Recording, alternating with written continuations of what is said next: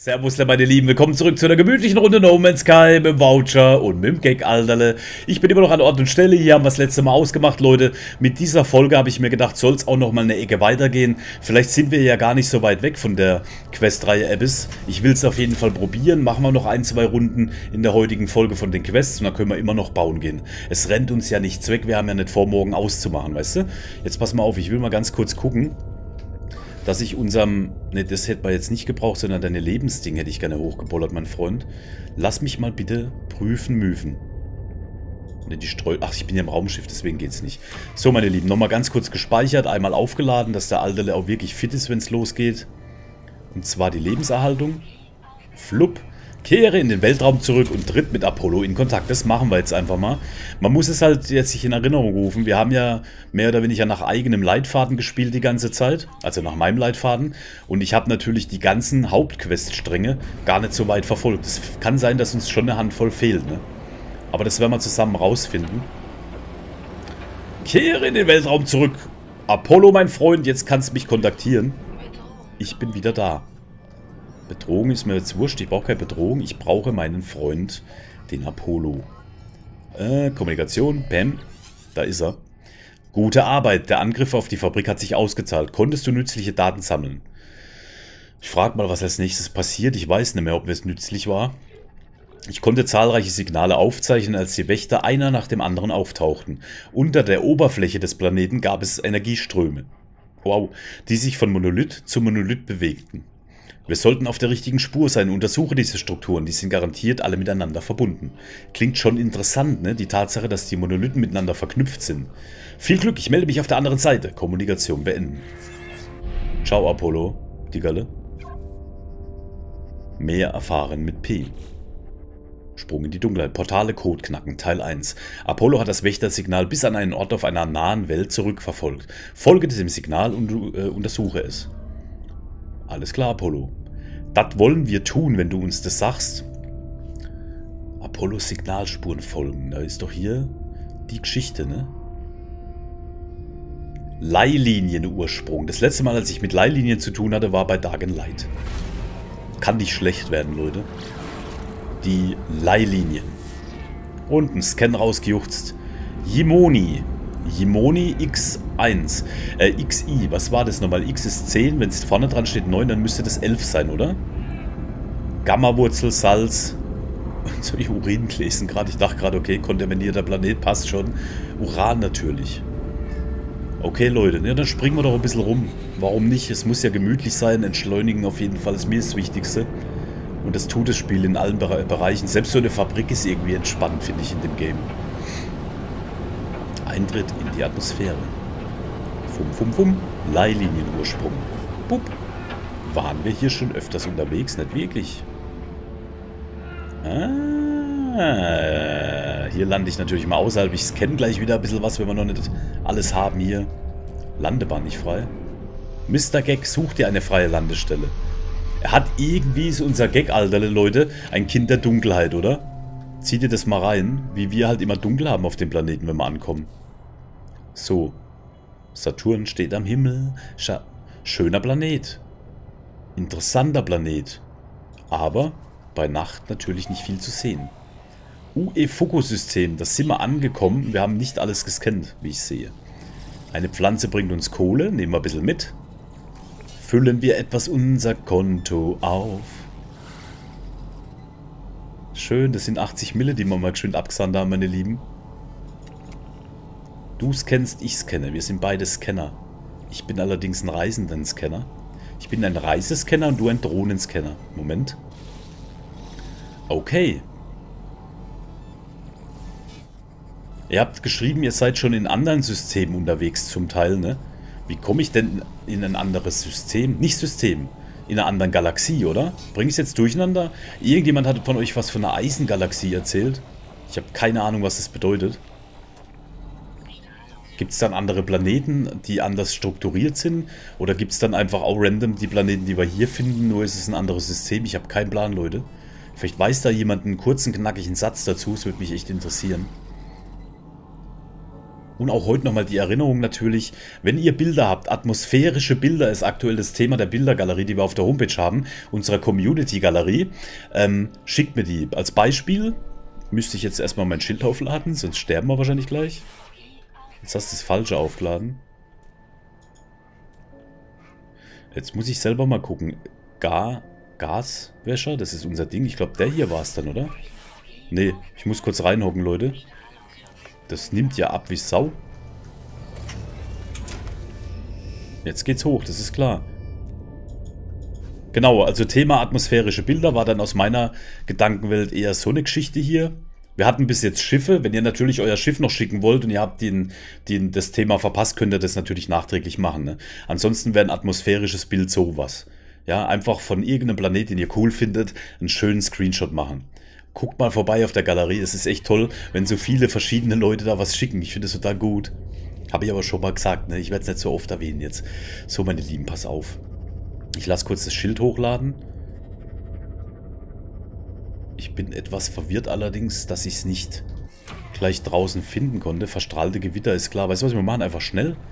Wir machen einfach mal schnell hier, Alterle. La la la. Denkst dran, dass es hier auch... Oh, wow, wow, wow. Den haben wir auch noch nicht gescannt hier, den Kollege. Guck mal, ob da irgendwo... Da ist auch Wasser hier in der Wasserhöhle oder sowas, ne?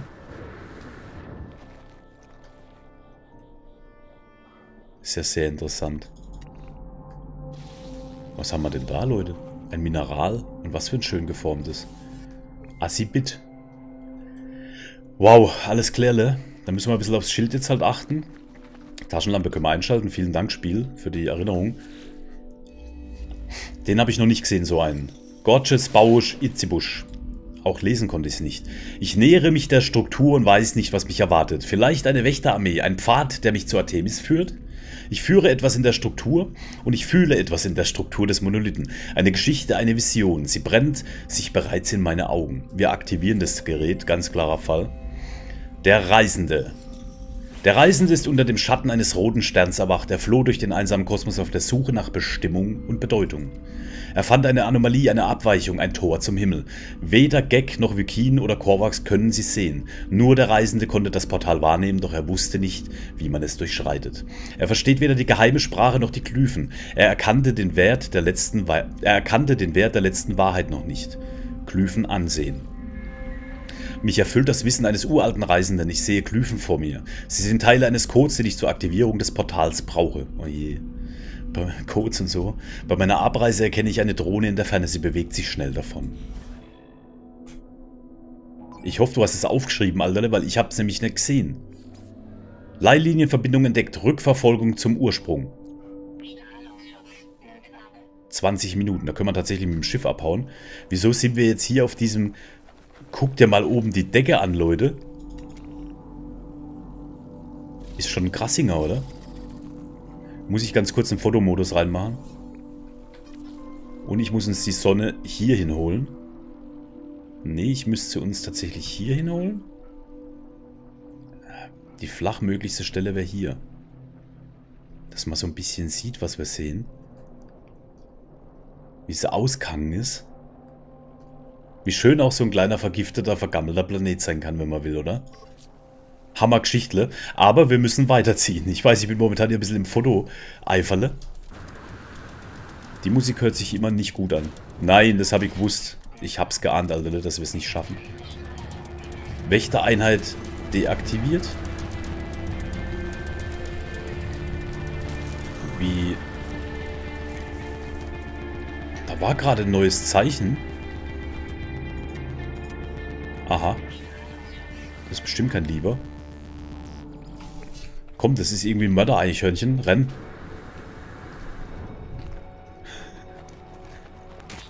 Jo, ich hab's genau gewusst, dass es ein Mörder-Eichhörnchen ist. Oder war das jetzt der Strahlungsschutz? Egal, ich flitze erstmal.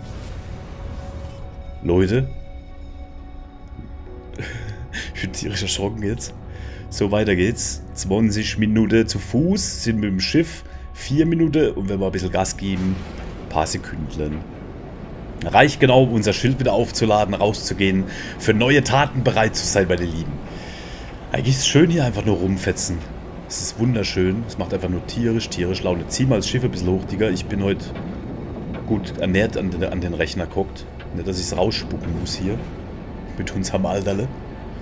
Zwölf Sekunden, die schaffen wir. Ich hau mal einen Scan raus, aber was können... Oh, guck mal, da ist ein Häusle. So, Alterle.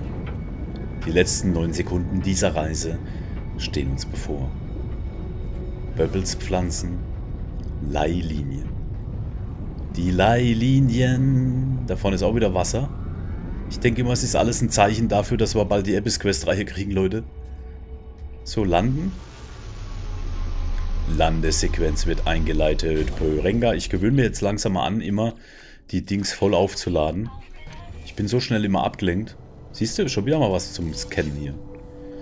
Scannen wir mal so ein Ding raus. Vielleicht können wir ja ähm, ab und zu mal schauen, ob wir eine Dings finden, Leute. Wow, hat sie hier einen Haufen Zeugs, wo wir jetzt raussuchen können. Ähm, ich suche Rezeptteile. Guck mal, hier ist wieder ein Tier. Das ist verborgen. Genau deswegen habe ich die Startschubdüsen aufgeladen, weil jetzt will ich ja natürlich schon gucken, ob ich... Da, das habe ich gemeint. Ich hatte nur kurzzeitig den Namen vergessen. Auf E musste drücken. So, und jetzt will ich das Tier sehen. Wo bist du? Tier? Ist der unter der Erde irgendwo? Da hinten ist jetzt auch eins von denen.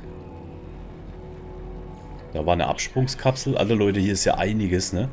Und jetzt haben wir schon wieder dieses extreme Wetter. Ich lasse jetzt alles liegen, außer... Ich gehe kurz ins Schiff nochmal das Schild aufladen, ist ressourcenfrei. Und die Dinge holen wir uns, die Technologie. Wir brauchen ja noch Rezepte. Wir haben noch einen kompletten Rover. Wir brauchen die Fensterelemente für die viereckigen Räume. Und ich will natürlich die Rennstreckenteile holen. Ne? Da suchen wir uns einen schönen Planet in der Nähe von unserem Giftplanet. Da baue ich uns eine Rennstrecke auf, Leute. So. Jetzt hopfen wir mal hier hoch. Jetzt machen wir mal einfach die Quest ohne irgendwelche anderen Sachen. Die Wikin-Tafel. Gut, das Wikin lese ich jetzt nicht mehr vor. Das ist ein bisschen eingerostet bei mir. Als ich mich der Struktur nähere, spüre ich dasselbe Brennen in meinen Augen. Es gibt nichts zu lesen, aber dennoch bin ich mit dieser Worten bewusst, aber dennoch bin ich mir dieser Worte bewusster als allem, was ich zuvor kannte. Ich aktiviere das Teil, mutig wie unser Gegalder ist, die Sünde. Der Reisende fand einen Weg, das tun sie immer. Die erste Drohne schrie, als sie aufgeschnitten wurde. Inmitten der zerrütteten Erinnerung an die Wächter fand der Reisende die Glyphen, die er brauchte. Er durchschritt die Pforte und trat vor das Angesicht der Allmacht. Boah, sie schrie, als sie aufgeschnitten wurde, ist auch nicht schön. Der Reisende fragte den Atlas, wie viele Welten er noch besuchen müsse. Er hatte in seinem Leben schon so viele gesehen, dass er nicht sterben wollte, bevor er sie nicht alle entdeckt hatte. Der Atlas antwortete. 18, 466, 744, 073, 709, 551, 616 Planeten. Ach, das soll, Komma soll die Zahl trennen. Ich zähle jetzt ein paar Millionen halt. Mehr als jemand in einem Leben decken könnte. Es war unmöglich, das Universum komplett zu erkunden, bevor der Reisende sterben würde. Muss ich mir die Zahlen jetzt schon merken? 4477, ich erkenne jetzt irgendwie hier keinen Zusammenhang im Moment. 18, 4, 1, ich glaube nicht, dass es ein Rätsel ist, die Zahl. Mich erfüllt das Wissen eines uralten Reisenden. Ich sehe Glyphen vor mir. Sie sind Teil eines Codes für die Aktivierung eines Portals. Sind es die Glyphen, die ihr habt, wo ich dann hin, hin und her porten kann? Systeme durchporten kann oder sowas? Ich denke an den Atlas. Ich habe diesen Namen auf meiner Reise schon oft gehört. Trotzdem entzieht sich mir seine wahre Natur. Die Vision erfüllt mich mit Angst. Okay. Der Sprung in die Dunkelheit. Finde die letzte Portalglyphe. Kein Problem, kein Problem, die finden wir. Ich will allerdings, ganz kurz habe ich nämlich gesehen, dass ich hier ein Wort lernen kann. Alter, hüpf hoch. Dankeschön. Ein Wissensstein. Versagen. Ein tolles Wort, das wir jetzt hier gelernt haben. Ein richtig tolles Wort. Es können nur Wiking gewesen sein. Ach, guck dir das an. Kann ich die zerschießen hier? Ne, ich kann hier keine Waffe ziehen, klar. Hab ich schon wieder vergessen. Hab ich schon wieder vergessen. Komm, wir ziehen weiter, Leute. Hier ist nochmal ein Wort. Jetzt renne ich außen rum, dass ich auch kein Wort vergesse. Kleine Ruine. Wäre übrigens auch ein wunderschöner Screenshot gerade, ne, um es nochmal ranzuholen. Guck mal, atmosphärisch. Aber das können wir als separates Thema irgendwann nehmen, dass wir Ruinen oder Gebäude, die praktisch No Man's Sky für uns parat hat, so ranholen. Das wäre jetzt kein atmosphärisches Planetenbild, finde ich, sondern eher eins, wo wirklich der Planet rauskommt. Zur Geltung kommt, wo man genau weiß, hier geht es um dieses Stück Planet. Ich komme mir so ein bisschen vor, es kann an der Bartlänge liegen, dass ich so ein bisschen so, wie soll ich sagen, auf dem Berg hoch die Tafeln holen, verstehst du? So Leute, komm, wir müssen weiterziehen. Eine Portalglyphengeschichte haben wir noch. Habe ich die schon entdeckt? Nee, doch, ja, habe ich.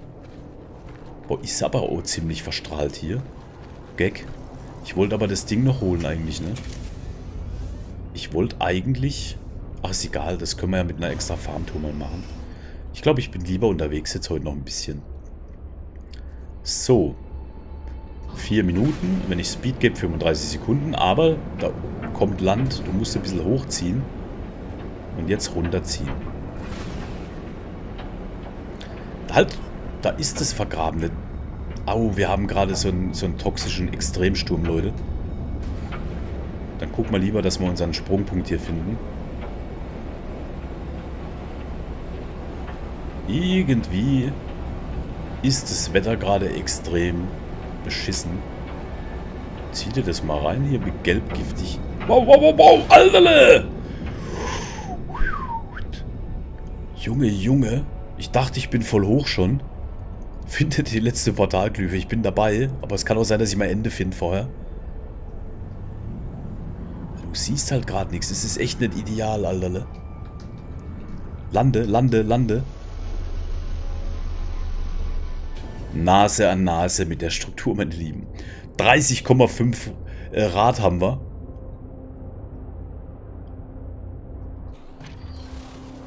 Guck mal, ob wir das lang überleben oder nicht. Schwupp, ich hopfe da kurz hoch, lerne kurz die Worte, lade mich wieder auf. Wir haben gelernt, abwesend. Wir flitzen rüber. Es geht extrem runter, gerade in dem Sturm, Leute. Wir haben gelernt, Ausbildung. Und wir haben gelernt, Vorsicht. Da kommt auch ein Viech, das will uns an Kragen. Kreatur. Ich hock mich rein. So. Da ist gerade angerannt gekommen. Ich glaube, das war kein Lieber. Ich höre eine Drohne, die uns kennt. Wer hat es zuletzt gesagt, ich kann, wenn ich hier drauf drücke? Ach, siehste.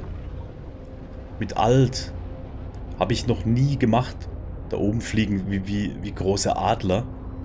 Schöne Geschichte, Leute. Ich will allerdings das Ding jetzt aktivieren. Und Wetter, Sturm löst sich auf. Perfekter, perfektes Timing, besser geht's nicht. Lupdidu, lupdidu, lupdidu, lupdi. Oh, das sind ganz viele von denen, die uns angragen wollen würden. Ich nehme jetzt einfach mal an, dass es hinhaut, wenn ich so mache. Alles hier ist rot gefärbt. Dasselbe, unbeobacht, dasselbe unbeobachtbare unbeobachtbare Karmesinrot. Unbeobachtbar ist eigentlich der Hammer, so ein Wort, ne? Das meine Vision erfüllt, wenn ich blinzle. Ich kann nur hoffen, dass diese Struktur die letzten Glyphen beinhaltet, so dass meine Prüfung in diesen Ruinen endlich vorüber ist. Ja, Gag, ich glaube auch. Der Zweck der Unendlichkeit. Der Atlas erzählt dem Reisenden, dass er der Erste seiner Art war und dass ihm, seine, dass ihm eine Vielzahl folgen würden. Jeder von ihnen mit derselben edlen Seele und der Fähigkeit, in ewiger Einsamkeit von Planet zu Planet zu reisen. Der erste Reisende lehnte das Geschenk des Atlas ab. Diese Welt war nicht, was er sich erhofft hatte. Was war der Zweck der Unendlichkeit, wenn man nicht alles sehen konnte? Wenn man alleine war? Wenn man eines Tages sterben würde? Der erste Reisende verfluchte den Atlas und behauptete, er würde schon überleben können, bekoste es, was es wolle. Der Reisende, wird, der Reisende wird Zeuge all dieser Welten und sogar der gesamten Zeit selbst. Schauen wir uns mal die Glyphe an. Mich erfüllt das Wissen eines uralten Reisenden. Ich sehe Glyphen vor mir, die letzte, der letzte Teil eines Codes, den ich zur Aktivierung des Portals brauche. Jetzt kommt die Prüfung, Alter. Das könnte jetzt die Prüfung sein. Es war wahrscheinlich tausend Sachen, die ich mir habe merken sollen. Und ich habe mir nicht eine gemerkt, ne? Ich hoffe, ich brauche diese eine Zahl nicht mehr. Tja, Leute, wir flitzen einfach weiter. Jetzt sind wir ja auf dem Pfad. Ich würde sagen, wenn wir diesen Teil erledigt haben und das nächste Mal in irgendeiner Form zum Artemis müssen oder den Apollo wieder irgendwo aktivieren, dann machen wir eine Baurunde. So ein bisschen auch zum Runterkommen für uns, ne? So einfach mal hoch, weil 13 Minuten war schon ziemlich weit. Stopp. Ja, langsam, mein Freund, Alterle, langsam. Und draufspringen, dann geht's schnellstens. Perfekt, 4 Sekunden, ist doch keine Zeit, oder? Okay. Ich hoffe, da hat sich was gemerkt hier, unser Gag. Das Technologiemodul gibt nicht auf, Leute. Das habe ich markiert, das bleibt markiert. Leihlinien Ursprung, Ankunft in 9. Guck mal, wie zerfressen der Planet ist. Wir fliegen genau auf ein Technologiemodul zu, offensichtlich. Schön. Schön. Nichts anderes finde ich, find ich richtig gut, Leute. Dann haben wir wenigstens doch eins. So, komm, bevor der nächste Sturm kommt. Wenn er nicht schon da ist. Hol deine Wumme. Es müsste jetzt hier irgendwo gelegen sein, oder? Ich gucke nochmal eben. Hier ist es. Das war dann irgendwie ein Anzeigefehler, weil eigentlich habe ich es gerade hier angezeigt gehabt, ne? Gut, ist kein Problem, dann war es durchs Markieren irgendwie blöd. Bevor es losgeht, Leute, würde ich sagen, wir öffnen das Portal. Vielleicht haben wir ja Glück und wir kriegen es wirklich auch aufgemacht. Okay, Asche von Ulina. Reisenden-Anomalie bestätigt. Durchbruch, Durchbruch, Durchbruch. Ich nähere mich dem Portal, ich denke an jeden flüchtigen Gedanken. Ich denke an jeden flüchtigen Gedanken und Wunschtraum, der mich zu diesem Moment geführt hat. Wenn ich diese Pforte durchschreite, finde ich vielleicht Artemis, die Quelle der Wächter. Oder vielleicht sogar ganz, ein ganz neues Universum. Aber es ist mehr als das. Das ist kein Schicksal, das ist, kein, das ist eine Entscheidung, ein Vertrauensvorschuss, dass ich irgendwo da draußen in der Dunkelheit meine Bestimmung finde. Glyphen eingeben. Ich mache einen Schritt nach vorne, ohne zu wissen, was sich auf der anderen Seite befindet, aber tief in meinem Herzen spüre ich den Ruf nach Wahrheit. Das wird der Anfang von allem. Okay. Bam, das kennen wir schon. Okay, wir haben jetzt ein Portal aktiviert, Leute. Wahrscheinlich mache ich hier gerade was, was total cool ist. Und ich denke die ganze Zeit nur an diese Abyss-Quest-Reihe, ne? Oh, ist das jetzt ein kleiner Stift geworden? Ah, ne, das steht hier einfach... Ich dachte gerade... Jetzt sollen wir durchlaufen. Klar laufen wir durch, oder? Wir laufen durch. Jetzt wollen wir es wissen. Jetzt wollen wir es wissen.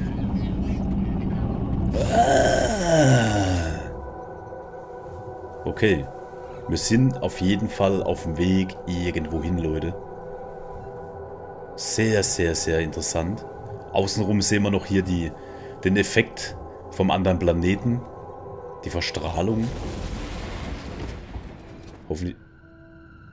So einen haben wir auch schon mal gesehen, wenn es nicht sogar der ist, auf dem wir waren. Nee, ist er natürlich nicht. Atmosphärischer kann es ja nicht sein. Durchbruch, Durchbruch, Durchbruch. Anomalies, Signal entdeckt. Warum soll man mein Schiff nicht geben?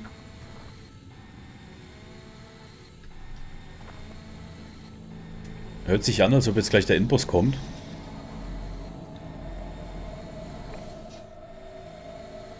Ich muss mal eben da rein. Portal. Das uralte Denkmal haben eine Reihe von Glyphen bereitgestellt. Vielleicht sind hinter der Schlüsselöffnung eines Portals. Wir haben doch das Portal geöffnet, oder? Denkmäler haben eine Reihe.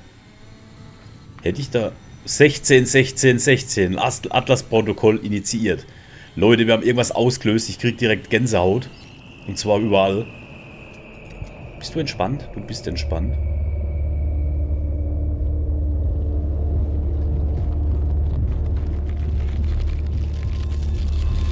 Ey Leute! Fram! Atlas-Schnittstelle. Sprich mit dem Atlas. Ich hab die ganze Zeit gedacht, ich habe echt gemeint, da reißt die Erde jetzt auf und da kommt was. Eine Warpzelle? Noch eine Warpzelle. So, mein lieber Atlas, da bin ich wieder. Wie, welch Zufall, wir waren erst dort, ne? Hallo Welt! Der Text blinkt vor mir. Der Text blinkt vor mir. Es wartet auf eine Eingabe. Fragen, wer da ist. Komisch, dass wir jetzt gerade hier landen, wo wir das eigentlich erst gemacht haben. Ne? Eine Tonaufzeichnung wird abgespielt, ihr Echo ist über die gesamte Schnittstelle hinweg zu hören. Wir waren einst Reisende, wir strebten einst mehr als Schmutz und Staub an.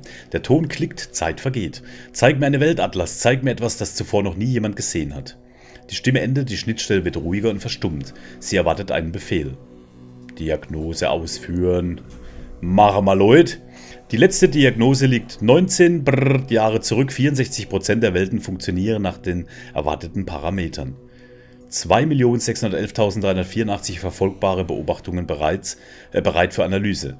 Subroutine, Wächter, Status, Fehler, Nullwert. Subroutine Glas, Status, betriebsbereit, 4182 Durchbruchversuche. Subroutine, Reisender, Status, betriebsbereit, 458 kritische Fehlermeldungen. Strukturelle Integrität der Exogedanken... Oh, Alter, ist das ein Text, oder? Strukturelle Integrität der Exogedanken beschädigt, sofortige Reparatur erforderlich. Persönlichkeitsschnittstelle initiieren? Ja, nein. Yeah. Reisender. Bam, das Ergebnis, ne? Okay. Die Realität schwindet, alles andere auch. Mein Körper, meine Stimme, meine Seele, alles spricht zu mir. Der Atlas steht vor mir in all seiner Macht. Ich möchte nach Artemis fragen, ich will ihn finden, doch irgendetwas passiert mit mir. Ich muss weg von hier. Ich muss schreien, jubeln, unterwerfen.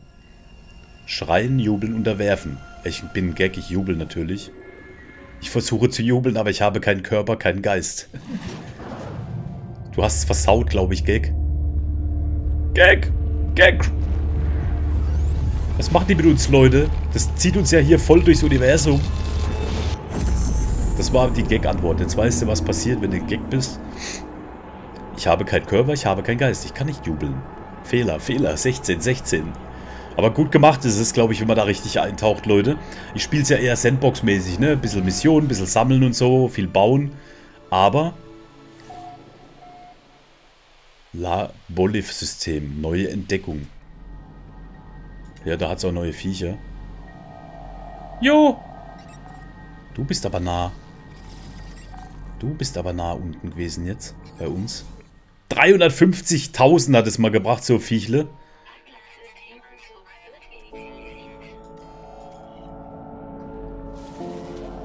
Wieso bringen die so viel Geld? Weil ich den Scanner nochmal erweitert habe.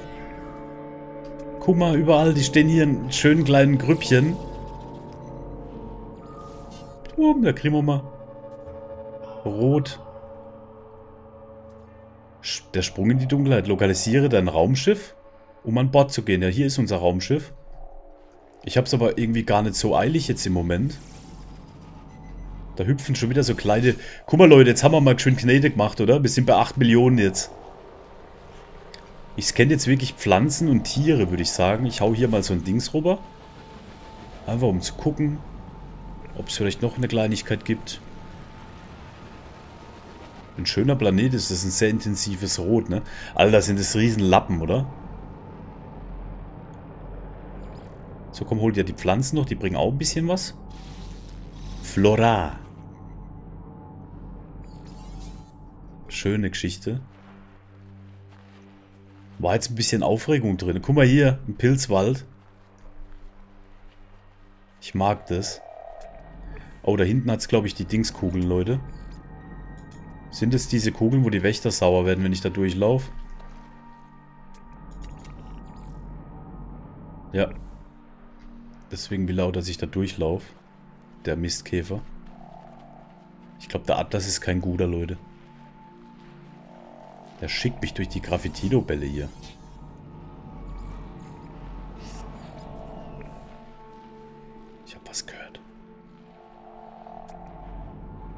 Da ist ein kleiner. Ih, was ist denn das für eins? Das sieht aus wie ein laufender Hoden. Guck mal. Hodentiere, Leute. Vier Eier. Jetzt habe ich es gefüttert. Ich habe gute Tiere gefüttert. Haut's mich um. Ja, willst du auch was? Willst du auch was, Alter? Das ist so klar. Da kommt da alle. Ihr habt jetzt alle Hunger, ne? Mein gutes Kobalt hier wegschmatzen. Alter Schwede. Oh, der ist auch ein guter hier. Alles klärle. Alles klärle. Komm, geh weg, Alter, ne? Das sind Hodentiere, die willst du gar nicht. Entschuldigung. Entschuldigung, er sah echt aus wie ein Viechle mit, mit zwei Eier. Also mit vier insgesamt. So weiter. Aber er hat Geld, gebracht beim Scannen, ne? Wenn es um die Knete geht, da haut, kennt unser Gag nix, Leute. Da hebt er das Scanner drauf. Da kennt er echt nix. so, weiter geht's. Hammer alles, Hammer alles.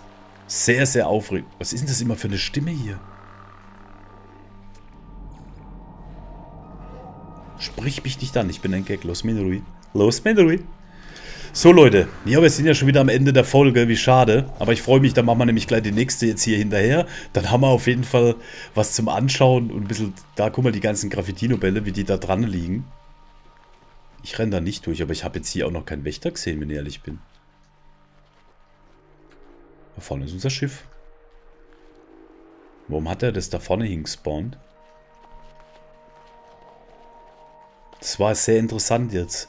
Ich habe nämlich jetzt gemerkt durchs Lesen und durchs... Das guck mal, was das hier... Ist das, glaube ich, so, dass man am Anfang dann hier eine Base hinbaut, weil es so super flach ist? Sieht gerade voll absichtlich aus, dass wir genau hier rauskommen. Servus Säule. Gutes Stück. Guck dir den an. Irritation. Übertragung gelöscht. Mögliches Versagen der Grenzschichtablösung. Schiff 16 gelehrt. Schon wieder die 16. Diagnose. Keine Verbindung. Analyse. Erwarte neue Initiative. Ich übertrage einfach mal. Reisende Anomalie entdeckt. Position verzeichnet. Systemintegrationsscan initialisiert. Anomalie ist konform. Okay. Wenn du das sagst. Beschädigte Maschinerie. Hier sind... Ich will jetzt gar nichts looten. Ich will einfach jetzt gucken, wie es weitergeht. So, meine Lieben. Ich bin froh, dass dieser merkwürdige Welt etwas Vertrautes zu sehen. Ich flüchte zu meinem Schiff. Ich bin froh, in dieser merkwürdigen Welt etwas Vertrautes zu sehen. Wohin hat mich das Portal geführt? Ich war in der Schwerkraft dieses teuflischen Maschinchens gefangen und nicht stark genug, mich ihr zu widersetzen. Sie hat sich als Atlas vorgestellt, das Wesen, das so viele anbeten und fürchten. Ich habe keine Spur von Artemis oder den Wächtern gefunden. Warum bin ich überhaupt durch die Pforte geschritten? Warum bin ich diesem Pfad gefolgt? um Artemis zu retten, um Wächter zu eliminieren, weil ich es kann. weil ich es kann, finde ich gut, es tut mir leid. ich rede mir ein, dass ich das alles, ich rede mir ein, dass ich das all das tue, weil ich es kann. Dass mit Artemis oder die Gefahr, die von den Wächtern ausgeht, eigentlich egal sind. Vielleicht ist es wahr, vielleicht brauche ich kein höheres Ziel. Als ich auf die Konsole starre, bietet sich erneut eine Gelegenheit an. Ich empfange eine eingehende Übertragung, die von einem Ort genau auf diesem Planeten ausgeht. Du bist nicht allein. Das Signal scheint seinen Ursprung unterhalb der Oberfläche dieser Welt zu haben. Es verwendet dieselben Worte, die mich schon vor so langer Zeit Artemis geführt haben. Ich muss in die Tiefe absteigen, um die Quelle des Signals zu finden. Das mysteriöse Notsignal. Leute, das machen wir halt beim nächsten Mal jetzt nochmal. Ich würde sagen, das machen wir jetzt einfach nochmal mit. Hier ist gespeichert, meine Lieben. Ein, zwei Dingern, jetzt bis es interessant. Jetzt interessiert es mich einfach, was noch passiert. Und da wir sowieso zur Abyss-Quest-Reihe da lang müssen, würde ich sagen, wir gönnen uns noch eine Folge Mission erkunden. Vielleicht ist es auch nur noch ein, zwei Schritte, dann können wir früher heim. Ich würde sagen, eine Folge schreibe ich jetzt hiermit noch aus zum Entdecken. Nicht dieser Planet. Beim nächsten Mal geht es hier weiter. Ich würde mich freuen, wenn ihr wieder reinschaut. Herzlichen Dank fürs Zuschauen, meine Lieben. Bis dann.